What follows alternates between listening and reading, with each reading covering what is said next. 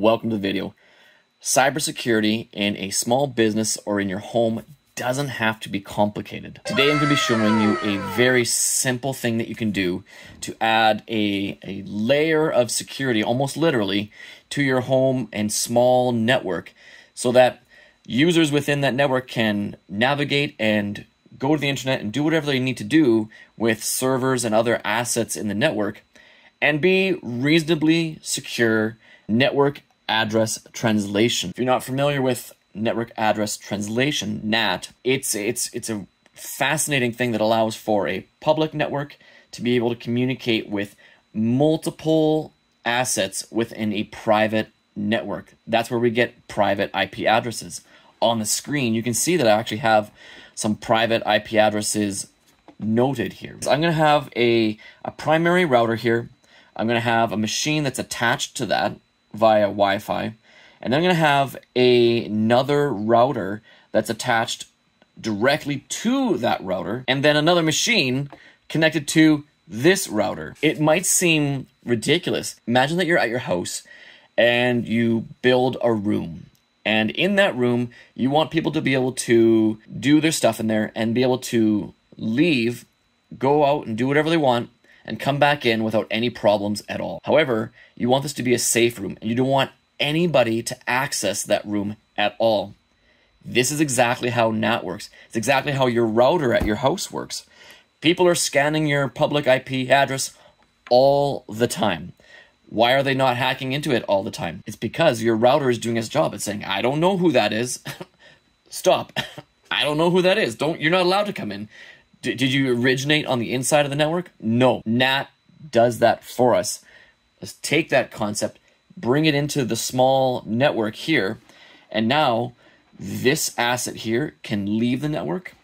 No problem at all because of the firewall and the NAT relationship. Every everything inside here cannot get over into this secret space that's hidden behind the NAT in this additional private network. Let's bring in our other machines here and try to put these machines where they belong in the topology.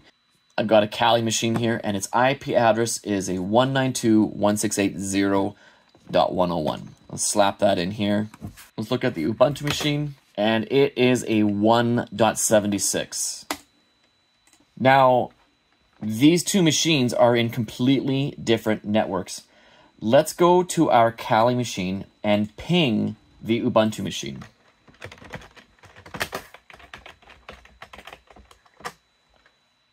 Right away, we can see that it is able to leave the network and go to that machine. And because of this, the state being remembered inside of the firewall in this router, is able to get back in to the original sending machine. All right, good. That's good. That's a normal network behavior. Now, I'm going to go the opposite way. I'm going to go from Ubuntu to the 1 to the 0.101. Now, it shouldn't work. uh, and it won't. and it doesn't. It's being killed right there. Okay? That's awesome. well, there you go. Thanks for watching the video. we demonstrated the value of having NAT, but hold on. Not all cybersecurity has to be hardcore. Making simple additions to your network can add a ton of valuable security. This setup is very simple and it's, it's dirt cheap. I think this router cost me $5 at a secondhand secondhand store. And really, because of the nature of NAT, nobody in here is going to be able to brute force through this NAT to get into this network. Somebody could do a denial of service, but really, if you've compromised my internal network at this point, at this point, I've got more concerns than you getting past this additional wall or barrier into other stuff. In this case, I actually went in and turned off the Wi-Fi so nobody around my house can see this router. It's only a physical connection from my my laptop ethernet to the back of this router and then this router is connected to through Ethernet to my other router. Because WAN interfaces typically have DHCP enabled, it actually asked this router and this this network here for an IP address. It's it's great. So the, the setup was super straightforward as well. Could these machines still be compromised? Yes, of course they can.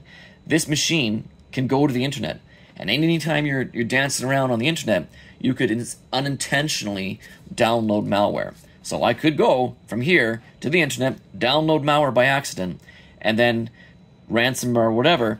Now it's spreading spreading internally, potentially going off in there. But that's not what I care about in this particular setup. What I care about is that nobody in here can get in there. It's a it's an isolated area. We can do this with network segmentation as well inside a router. But what I'm demonstrating here is that you can throw on simple pieces of network hardware that are going to improve your cybersecurity. All right, folks, thanks for tuning in and we'll talk to you soon.